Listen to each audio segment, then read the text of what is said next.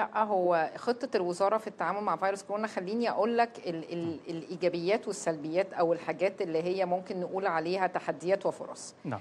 ال- الجزء الأول طبعا لما جينا وضعنا الخطة في شهر مارس كانت بتتكلم على أربع محاور. محور التعامل مع المخلفات الطبية اللي هي بتطلع من المنشآت ومن المستشفيات الجامعية ومن العيادات. آه، جزء تاني خاص بالمخلفات البلدية الصلبة اللي هي القمامة وكيفية التعامل معها. الجزء الثالث اللي إحنا بنتكلم عليه اللي هو التوعية والسيطرة على آه، تلوث الهواء. آه، الحقيقة الأربع محاور دول إحنا اشتغلنا فيهم مع آه، مختلف الوزارات سواء في النفايات الطبية مع وزارة الصحة ووزارة التعليم العالي بدءا من التفتيش والمرور على أكثر من 2500 م- آه، منشأة طبية على مستوى الجمهورية.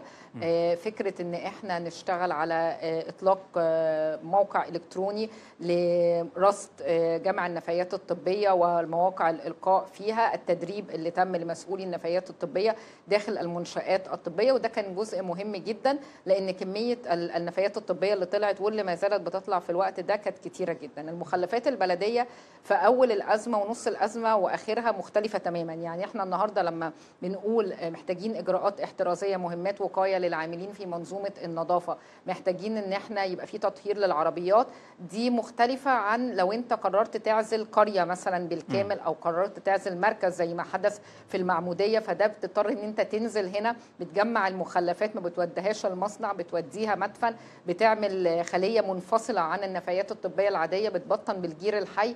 فكان كل موقف الحقيقة التناول آه، بتاع هذا الموقف مع الوزارة المعنية المنفذة سواء في حالة المخلفات الصلبة البلدية وزارة التنمية المحلية أو النفايات الطبية وزارة الصحة وما إلى آخره كان بيختلف. كان دور وزارة البيئة هو دور وضع الاشتراطات آه، المراقبة آه، التفتيش تقديم الدعم الفني بننزل بالم- بالمعدات وبالعاملين بتوعنا إن هم يقدروا يقوموا بهذا العمل بجانب طبعا التوعية.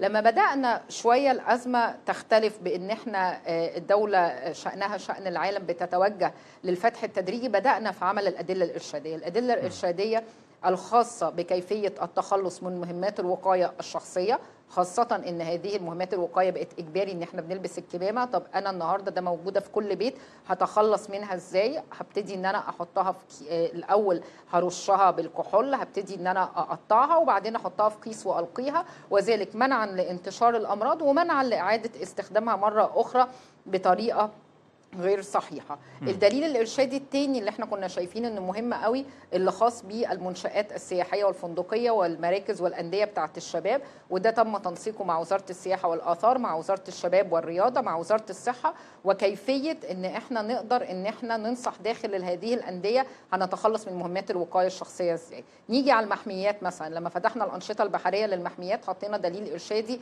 لكيفية التعامل مع المحميات الطبيعية وقت الأزمة. طبعا في جزء إجرائي خاص بوزارة الصحة ولكن في جزء خاص بالبيئة على سبيل المثال الجزء بتاع استخدام البلاستيك. الحد من استخدام البلاستيك لأن طبعا لما هتستخدم حاجات disposable كتير ممكن يبقى أسهل حاجة إنك تستخدم بلاستيك يطلع على المركب ينزل آه، جوه البحر هيؤثر بصورة كبيرة جدا على الحياة البحرية. نعم. الفكرة اللي إحنا تناولنا بيها أزمة كورونا كان أكتر من إن إنت بترد أو بتدي رد فعل هي تخطيط وتنسيق كامل مع مستوى الوزارات للحد من انتشار الفيروس. ولكن ما تعلمناه في هذه الأزمة والعالم كله تعلمه هو ضرورة التعافي الأخضر. لو هنتعافى كلنا من كورونا لازم إن إحنا نضع البيئة ضمن الأولويات. بمعنى إن وقت أوقات الحظر كان طبعا نسبة التلوث في مصر شأنها شأن الدول الأخرى نسبة تلوث الهواء انخفضت ب 45% نسبة تلوث الضوضاء عشان كان في وقت معين للحظر بنسبة 75% صحيح. معنى الكلام ده إن إحنا الحقيقة إعادة التوازن البيئي أو النظم البيئية بصورة سليمة؟ بيتطلب إن إحنا لما هنتعافى هنتعافى بطريقة خضراء. وعشان كده كان دور وزارة البيئة في خلال الفترة اللي فاتت التحضير مع وزارة التخطيط مجموعة من المعايير البيئية اللي يجب إدراجها في الخطط الاستثمارية والمشروعات بتاعة الدولة.